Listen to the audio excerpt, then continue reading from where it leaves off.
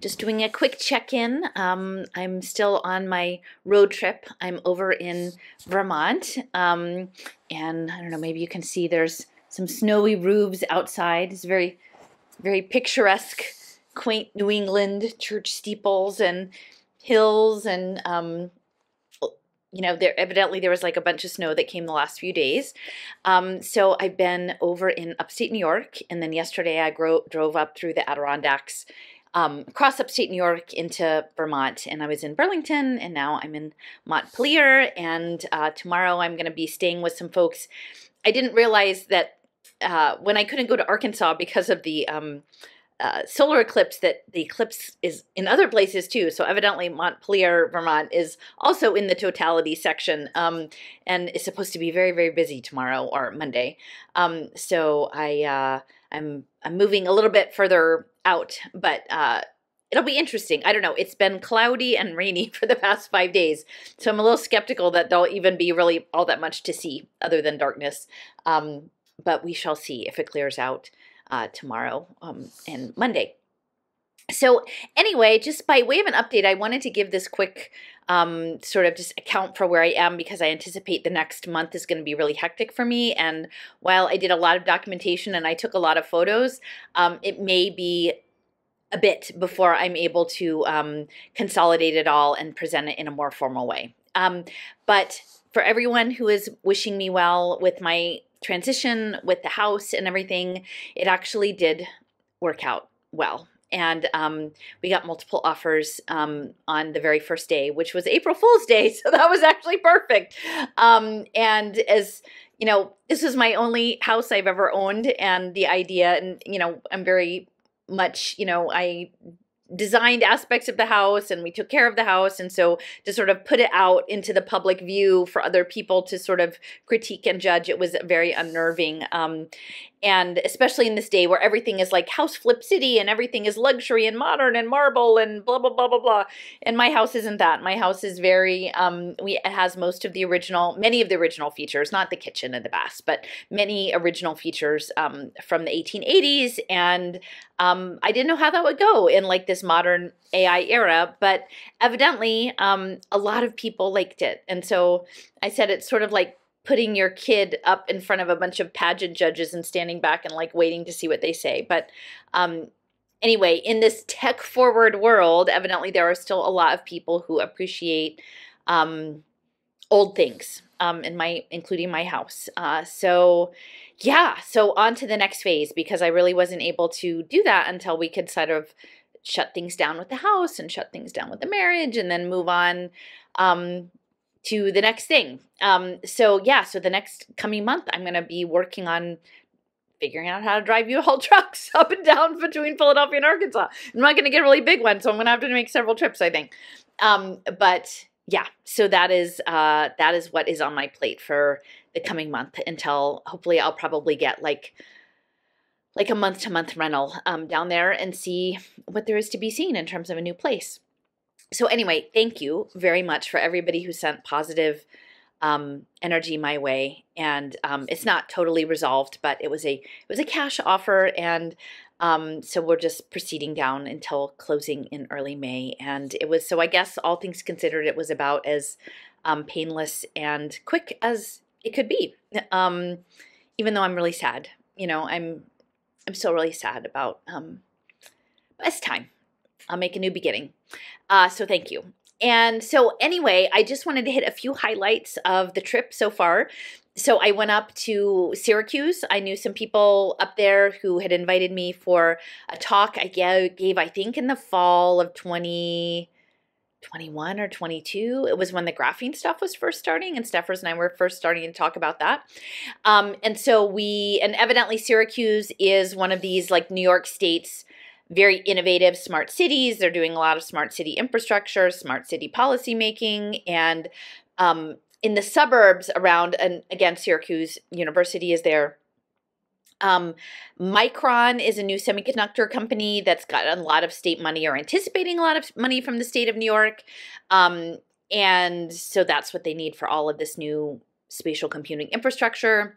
Um, so I didn't see a whole lot of evidence of all the smart city, and that's the thing that's kind of tricky. Is like you can look around and it just all looks normal, um, but Syracuse is sort of in the center of that. And um, so we did a day trip out to Oneida, um, which is this early 19th century utopian community. Um, actually, one of the first communities that was doing eugenics they called it stirpiculture and this guy uh, noyes he he anticipated that he said that uh, christ's second coming had already happened but they were just waiting for people to be perfect. So essentially it was this communal program of um, free love and open polyamorous relationships um, and but men were supposed to be in charge of like controlling themselves. And um, so it was only certain people were supposed to procreate uh, for the good of the community. And so they called themselves like bible communists. And uh, they were looking at like primitive christianity. And part of the um, they had their own communal industries and initially like one of the biggest industries was making animal traps which was kind of a strange thing. So animal traps and then eventually um, the collective sort of turned into a corporation like an early benefit corporation and then they started the Oneida Silverware Company, which I think went bankrupt in like 2007 and reconstituted as something else. Um, but I have Oneida flatware. Um, I got it for my wedding, and it's actually it's very nice uh, flatware, but it has this very very interesting history. So the building um, essentially is like a hive, and it was 93,000 square feet. 300 people lived there. Um, the children who were born, which were like stirpicults or something like that, they had a certain name. Uh, as soon as they were weaned, they were taken away to the children's wing and raised, and that's sort of the whole um, Walden 2 B.F. Skinner kind of thing. And even the sort of free love, polyamory kind of, um, but with no commitment, in fact, like really undermining the idea of like relational um, monogamy or uh, that one would be preferenced over the other definitely came out of that um, reminded me of the Yev- Yevgeny Zamyatin's book we um, in which again, eh, there were no relationships, and everyone had to just sort of have relations with anyone else based on if you had a ticket request. um, and so it was just really interesting to go back and sort of see um, the collectivist aspect.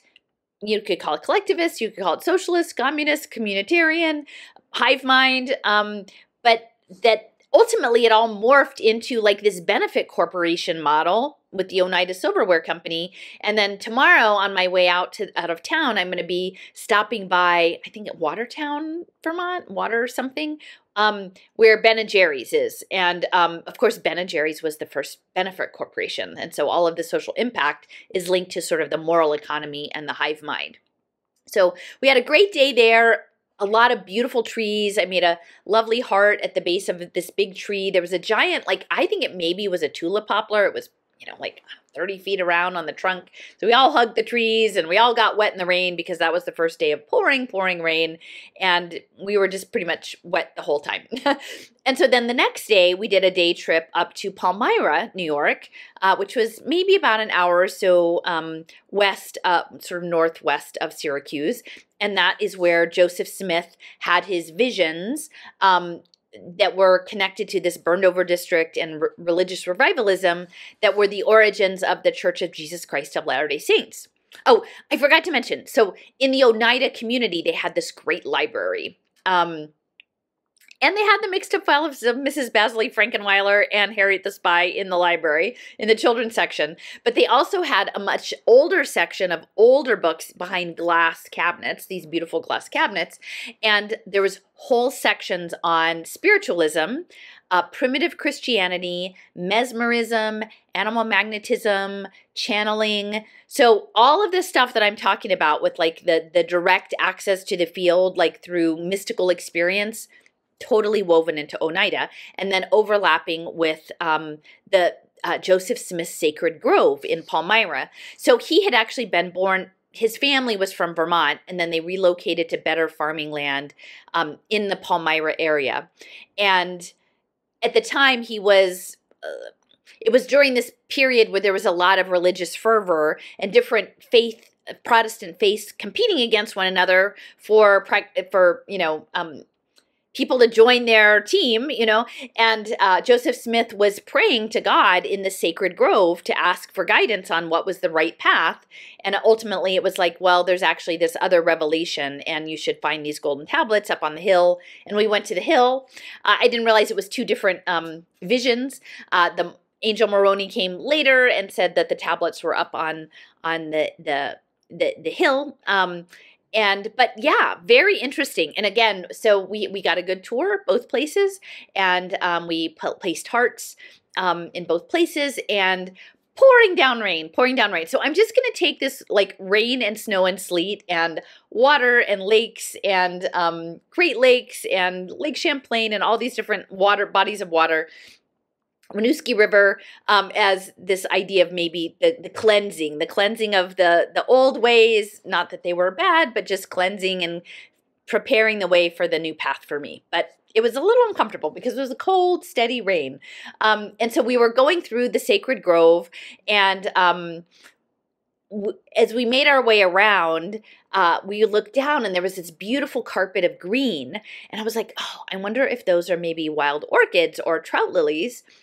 And so I went down and I saw the leaves of the trout lilies, which were very tiny. They weren't ready to be blooming yet, uh, but they're little green leaves with red speckles on them. Uh, but the green carpet, we realized later, were actually ramps. And it's interesting because if you look up ramps, I think they're related to allium and onions.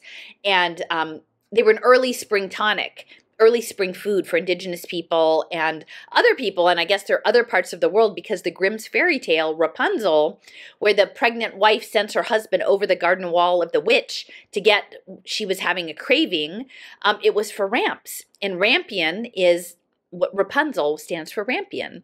Um, so that's a really interesting connection there. So beautiful carpet of ramps and you know, my hearts that I were was making, my my friend Juliana had, I still had a bag of things that she had brought, but I'm a little slim pickings, right? Because I've been giving away and making hearts in preparation for, you know, leaving Philadelphia. And so everything is very brown, right? This time of year, it's up here in the north. There's not a lot of green, um, but some of the people that we were visiting with, there was um, a, a a boy who was working on felting and he felted us all little hearts. So I had a red felted heart and I laid it down in among at the base of the ramps there was a, a rocky a, a rock outcropping with beautiful green moss. So we put the red heart on the moss and surrounded it with sand that Juliana had given me from Brighton Beach and um, feathers that she had brought. And we I, met, I set a lovely intention there, but there was water just everywhere pouring through. Um, and this whole area in the burned over district was also along the Erie Canal. And Sean had sort of pointed out this idea of uh, you know, commerce and transit, and also the commerce of ideas and energetic ideas, right? So Palmyra um, was also like on the Erie Canal. And so, uh, water pouring out, and my friend pointed out, like, oh, this is actually a spring because there's nothing above it. It's not just a culvert that's channeling a spring above it. This is gushing right out of the side of the hill. So it was this beautiful primary water, sacred water, and um, the moss and the ramps and the heart there. So we, we, you know, anyway, we got back. We were a little bit soggy, and then we parted ways, and I went on to Rochester. And I've been very interested in Rochester, as I mentioned before, because of Marc Tucker and the National Center on Education and the Economy and how that fits with workforce aligned education and competency based education and ultimately digital twinning. Um, and of course, at the time I was doing my education work, I was just like, what's up with Rochester? I don't get it. Um, but Rochester was one of these cities of LRNG, like Dallas and San Diego and Philly, but these high tech cities.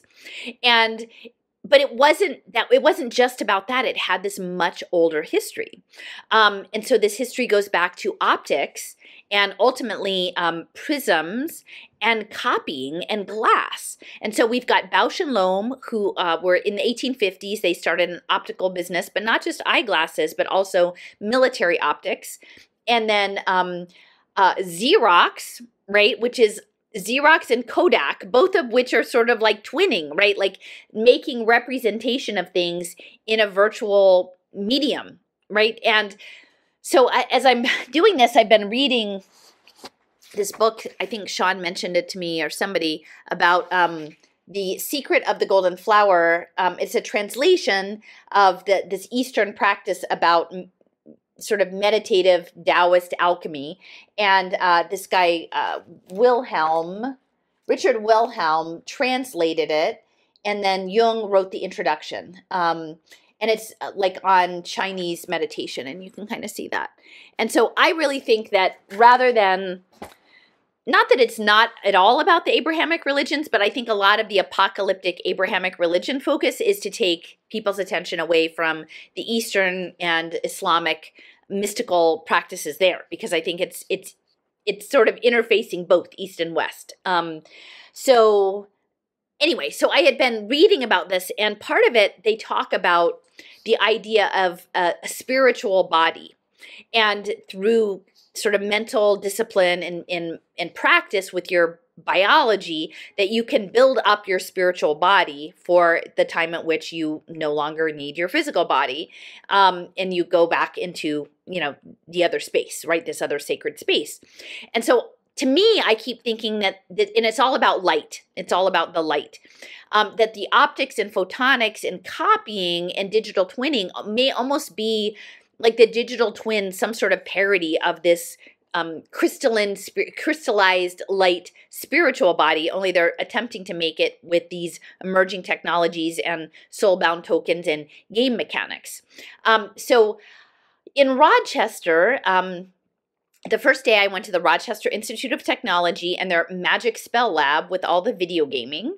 And I, I put a heart there in front of this uh, art installation that was about a quilt, but it was all rainbow colors and squares, uh, but all made out of wood. So it was sort of this pillar that was called a quilt. So I, I, I placed, and um, a friend and I, we had walked in a park in their neighborhood in Syracuse, and I didn't realize that the larch was also called tamarack.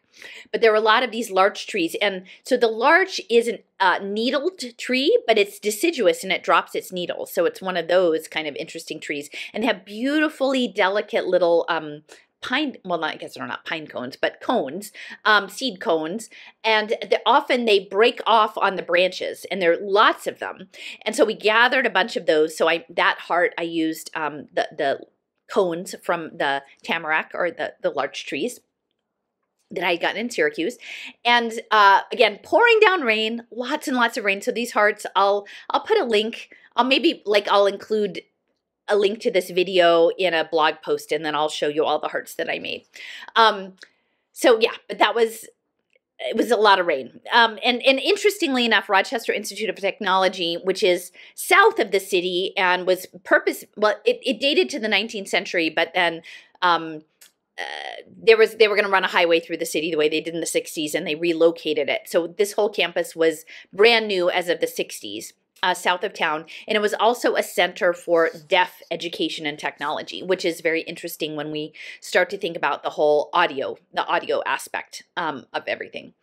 Uh, and then afterwards, I went to, I drove into town, um, and the Fox sisters are sort of these early pioneers of spiritualism. And I had wanted to go to uh, the cottage where these two sisters um, were communicating with essentially the spirit of a man who had been murdered in the house. He was a peddler and he had been murdered, I guess, for the things he was selling and buried in the basement. And then the the the, the two girls were like he was disrupted. It was a poltergeist situation. And then they became um, taken under their wing by these uh, Quakers and essentially birthed the spiritualist movement which is still very active, hugely, hugely important in the late 19th, early 20th century. Many spiritualist churches and many of these spiritualist churches would have camps and retreats that would go on for weeks in the summer.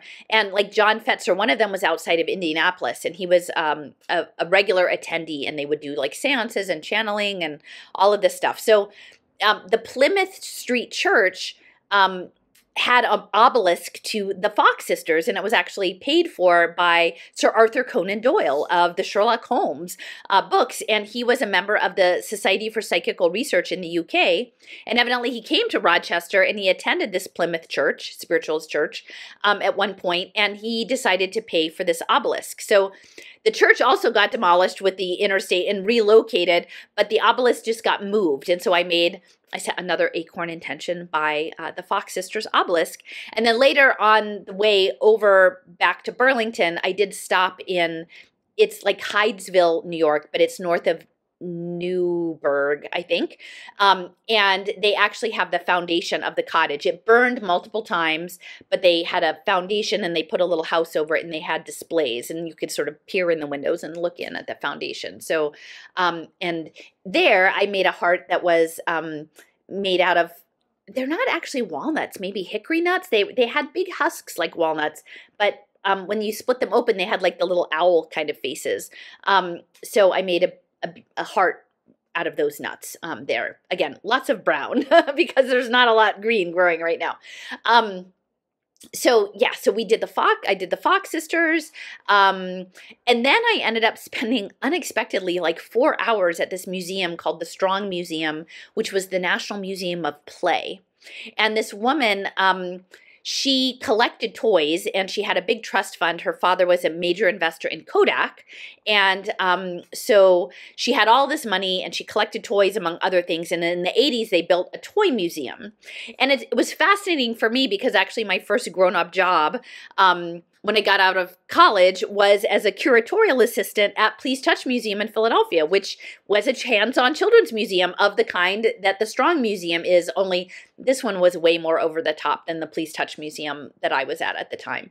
Um, but on the second floor of this museum was the Video Game Hall of Fame and a whole section that was a tutorial about leveling up in digital worlds and essentially walking people through sort of the basics of video game design. Um, and you had to get a, a like a a wristband with a QR code to play the games. Now, I didn't get that, and I watched how other people were playing it, but immersive reality gaming and they would you know i took so many photos i can't even tell you like it filled up the storage on my phone.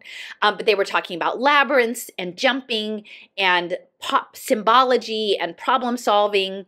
And um, i don't know emily moyer if you're listening it was really interesting. The displays um, in this area each of the units of learning were um, essentially they had like a chemistry chart like a the, all of them like in a I don't even know. I'm not good at chemistry, but whatever the chart of all of the different elements, um, like you would have in chemistry, they had for badges for things to learn about video game design. So, and I know um, you guys have been looking into the idea of um, chemistry as sort of interdimensional manifestation or like pulling information from the field into reality. So that was really compelling to me that they were representing these units of knowledge in video game the video game concept as elements in like the chemistry chart, you know, the atomic elements. I don't know. I'm terrible about that. Whatever that chart is, like molecules and minerals and elements. Yeah, that thing.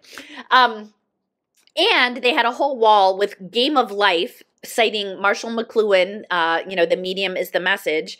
And it had all of the cellular automata and uh, the Conway's Game of Life. And people were playing it, and I'm sure they had no idea what it was really about.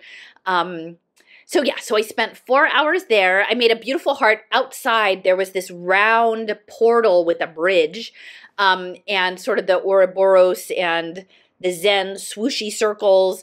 And I made a, a, nice yellow little heart with some dropped flowers of this cornelian cherry that was in bloom. So bright yellow. That was really nice. Um, and let's see, after that, where did I go? I think that was maybe oh, there was a local park. There was a, a park with a lot of acoustics and butterflies and strange things. And there was a black vinyl belt on the ground. So I made sort of a, a slightly pretty unattractive black heart there because it was what I had. And um, yeah. Oh, I went to the Eastman, the George Eastman Mansion, which is a, a, a museum of photography. I didn't go in because I was running out of time. There was a beautiful garden courtyard with an astrolabe and a fountain.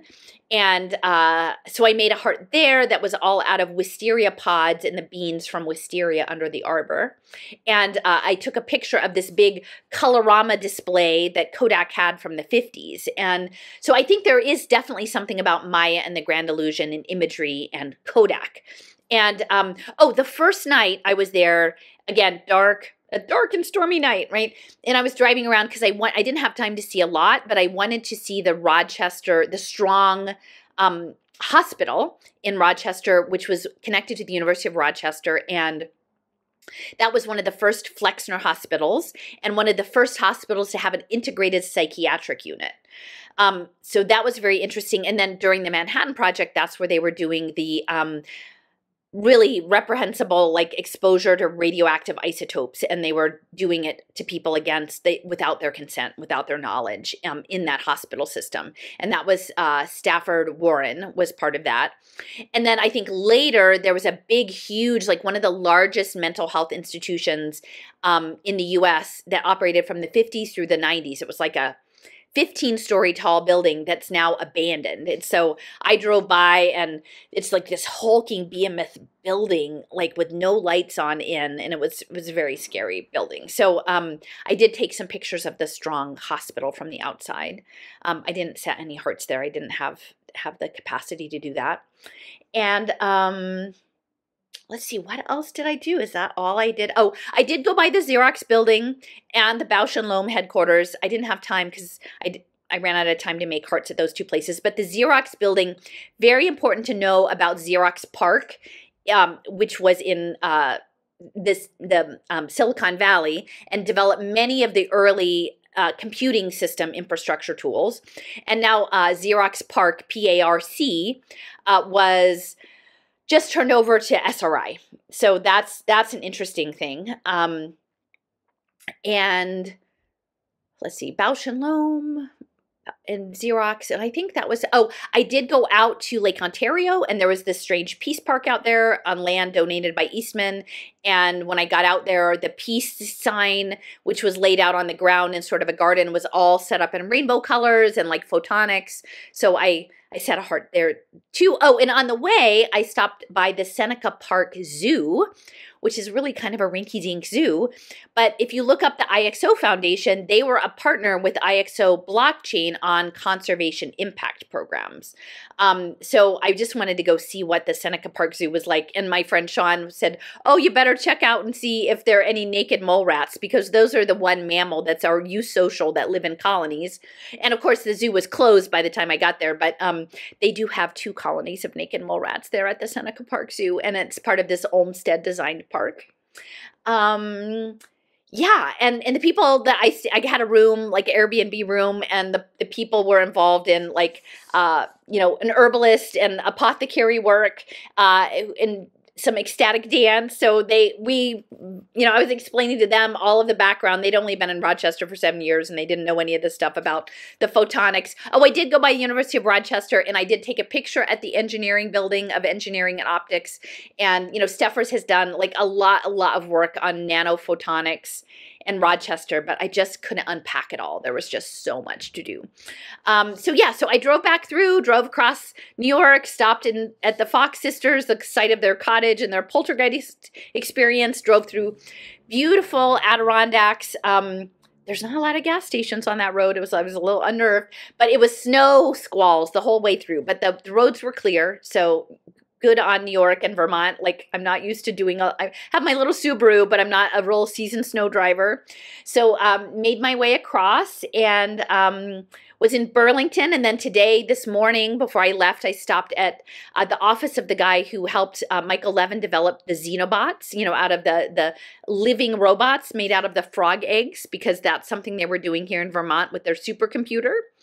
And, uh, yeah. Oh, and uh, when I got there to the building that on now, it might not have been his office. One place said it was his office, and then one place said his office was in a different building. It was this Farrell building, um, F A R R E L L. Uh, but when I got to the Farrell building, it was all about environmental studies and the Gund Foundation and all the hexagons, all the sustainability, all of the diversity and equity, all of the partnership stuff, because there's nothing greener than you know, using electricity and fitness landscapes and supercomputing to model frog cells into Pac-Man living robots, right? couldn't couldn't ever be anything wrong with that. That's just green, right? And I'm I'm realizing um, just now that I'm in Vermont that you know I've talked with this a little bit um, with some folks, but this idea of the populism of Vermont, both progressive and more conservative, is really suited to the super super organism. This idea of participatory voting and the town hall meetings and the independent minded. Um, so I really feel like Vermont is being set up because again, it's rural, it's out of the way, it's you know there's not there's quite a bit of poverty like people are looking to take advantage of any economic opportunities um, and so this consensus token stuff will work out really well here. And they have this long history of working in sustainability. Again, Ben and Jerry's one of the first benefit corporations, you know, right here in Vermont. Uh, but one of the friends that I was with um, in Syracuse brought up the idea of like the Hermes Trismegistus like the, the the you know the hermetic the hermetic stuff and these emerald tablets um actually someone else had mentioned the emerald tablets and i had never heard of the hermes emerald tablet but now i'm starting to realize that the green, like all of this stuff with green, like why green is important. And it may be the Emerald Gate Foundation is a reference to the emerald in classical antiquities and these mystery school orders. Um, so, oh, I forgot one more thing. So on the drive over, I got routed through Rome, New York. Now, the thing about upstate New York is that many of these towns, my friends were explaining that during the Revolutionary War, uh, officers in the in the Revolutionary Army afterwards were paid in land because the government didn't have any money. Now this land was just like chunks of forest that were largely inaccessible because there were no roads and there was no infrastructure. So they weren't really very valuable. And a lot of the soldiers, their families had built up debts while they were away at the stores and different things. So they would sell this land to developers uh, to get a little bit of money to pay off their debts. And so then these, uh, all of these tracts of land that were inherently military based, gridded units were then redeveloped at, as classical antiquity. So many of the names in upstate New York are named after, you know, uh, thinkers and leaders and places in in Greece and Rome. And so and, and Rome is one of them. And Rome is a highly had a big Air Force base, the Griffiss um, Air Force Base or Griffiths, G R I F F ISS. And it was working in all sorts of frequency and electro electronic warfare kind of stuff back in the day. But then it was closed, mostly, not quite. And then now is being redeveloped as a public private partnership with all of the defense tech. So, you know, as I'm routed through Rome, and again, we're thinking Rome, like arch archetypal imprints, right? The, these you know, it's not the Athenian city states, but it's the empire, the empire mindset, and empire through frequency. And I'm driving through and I see this business park that I've researched like a number of years before. And I'm like, okay, let me pull over and make sure it's the same thing. So I'm pulling over and I see it's the same thing. And then I notice that they have a sculpture park. And I'm like, oh my gosh, I totally have to go see this sculpture park in the former Air Force Base, public private partnership, defense quantum nano research center. So I'm driving all the way through and I see that there's like the Eastern Defense Force. So they've still got the military enclosures. I see BAE, I see um, Bo Booz Allen Hamilton, I see Lockheed, I'm seeing all the things. I'm seeing this thing called like Innovare, which they're doing quantum, high level quantum and nano stuff. And they're with the Griffiss Institute, which their symbol is a griffin. So we're back to archetypes. And it's an origami griffin because, again, origami is what they're using in the self assembling nanoparticles. So I'm bumping around. I can't find the sculpture park. Finally, I get to the sculpture park, and then I can't find a place to pull over. And then finally, I find a place to pull over. So as I'm going around the traffic circle to get to the place to pull over, in the middle of the traffic circle is this crazy chrome Pegasus with this swooshy, swirly arrow coming out, all in like silver. And it's like, moving forward is the, the, the quote. So they're totally imprinting with this sculpture in the middle of this crazy, and they're stack and pack housing all over the place. So they're, you know, redeveloping it as its own community with like defense tech and emerging tech and and and and then the sculpture park is overlaid with a disc golf course which is very strange. So disc golf and and there's a big electrical substation right there. So i pull over into the parking lot by the electrical substation and i'm there's a bunch of pine cones on the ground. So i'm like okay see you. So i pick up 12 pine cones and put them in my bag and um and i'm scouting it out. The first giant sculpture is freya who is the Norse goddess of fate. and I've, I've researched Freya as part of this Maniac TV series. So I'm like, oh my gosh. And on the way, walking over, and it's very scooshy. Again, pouring rain, again, lots of water. And I'm walking through the scooshy, scooshy, muddy grass. And on the ground is a trapezoidal silver sticker for Alcoa. And it looks like it's a vintage sticker from the 70s, like the Alcoa logo from the 70s. I'm like, how did this get into the time frame? So I pick it up and then I make the heart, you know, with these pine cones around Freya and put the Alcoa sticker in the middle of it. And I keep walking. And then the next sculpture is um, the birth of Venus. And it's all of these like frog egg things. Okay, interesting. Then there's like a typical big helicopter thing with an Agent Orange memorial, which is very sad. Um, and then I keep going, and then there's a Persephone monument. So again, we've got the Persephone. And then I keep going, and then there's a green column, a green column of tile, um, which is again we've got, we're back to the green. And then I see the um, the Pegasus with the swooshy thing. Um, and then I, I keep going, and then there's a yellow sculpture that doesn't have a name, but it looks like a trap, like one of those Oneida community, like spring-loaded traps. Um, so anyway, so that was Griffiss. You guys should look that up because that's that's definitely a thing. Um, they were doing a lot of occulted imprinting there. Um, and yeah, so I just made my way, beautiful scenery through the Adirondacks, um, total immersion in beautiful nature. Um, so snow squalls, but you know, it was not too scary other than like the fact that I was worried and was going to run out of gas, but I didn't.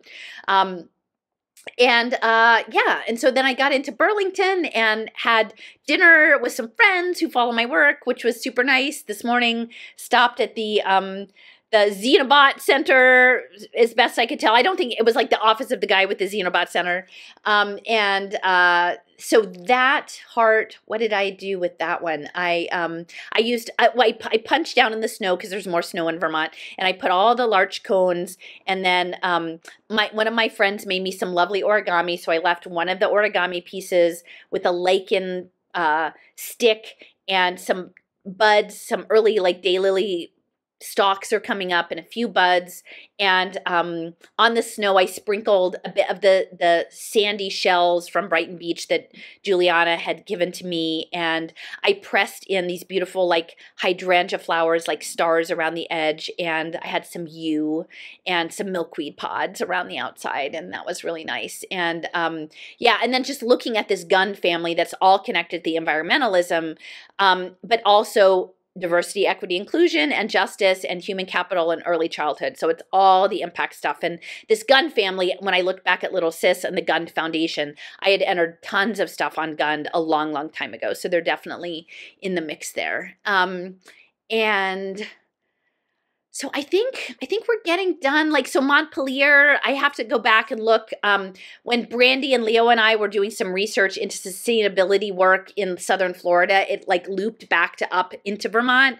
And there's this Nature Conservancy office and the Sustainability Institute that's like a stone's throw from here. So I think I'll stop by there on my way out of town. And again, stop at Ben and Jerry's, the, the one of the first be benefit corporations, because again, with Vermont, you're thinking again, superorganism, town hall meetings, add some tokens, populism, free agents, right? Democracy, don't tread on me is sort of, again, um, role playing games in the simulation modeling. And then we've got these big cooperatives like the dairy cooperatives, like Cabot. And um, so in that, um, now they're modernizing. Everything is at scale. So the farms, you can't just farm with 90 dairy cows, you need 1500. So everything is at scale and then all the cows are smart and they all have tags and RFID chips and monitors and they're all all of their they're literally being data harvested, right? And I think they're transitioning away from the dairy and then more towards turning these farms, at least in upstate New York, into solar farms.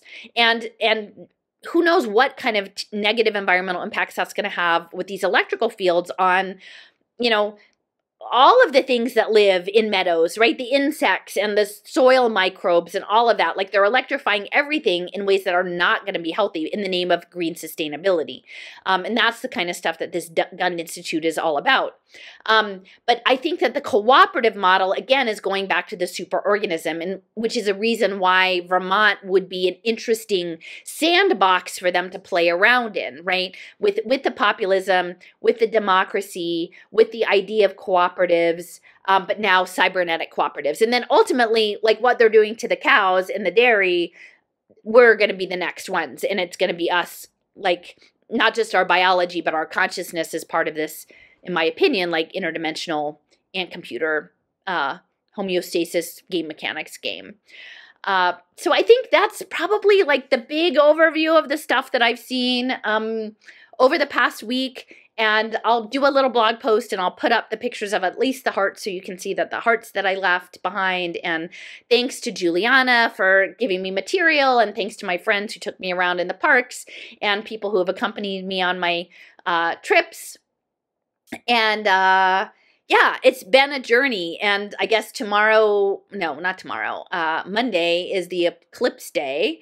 Um, so that'll be a little bit interesting. I guess there was a, a, earthquake in Philadelphia while I was gone, so I'm glad my house seems to be okay. Needs to hold up for at least another month or so. And um, yeah, I'm, you know, I'm, I'm sad and I'm wistful for my old life, which I thought was a very good life, but I think fate has said that there's something new on the horizon for me and I'm I'm grateful that I had this opportunity to take this trip and meet up with people that I might not meet up with for a while given the distance and to see this beautiful part of the country and see the nature and understand the history that these um, awakenings and these energy fields are something that goes long, long back, right? Like back to Rome, back to the Great Awakening.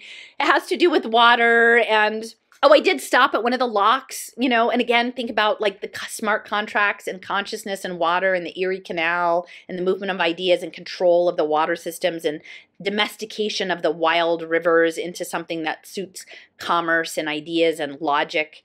Um, so yeah, so I'm going forth in gratitude, and I, I, you know, I appreciate everybody who's been walking this road with me. Um, because it's a very personal journey, kind of uncovering these pieces as and seeing how they relate to my own story, really. Um, and it was really weird to be in the strong museum the children's museum and you know it that part of me like my that three or four years that i worked at please touch museum i just hadn't even really thought of that in a long time and i realized like wow that was actually important so um yeah you can see there it's like my childhood flashed before my eyes like sesame street wasn't what you thought the hardy boys wasn't what you thought Harriet the Spy wasn't what you thought. Like, again, not that they're evil, it's just the idea of using the energy and imaginative power of children for problem solving in sort of using books and imagination um, to get there.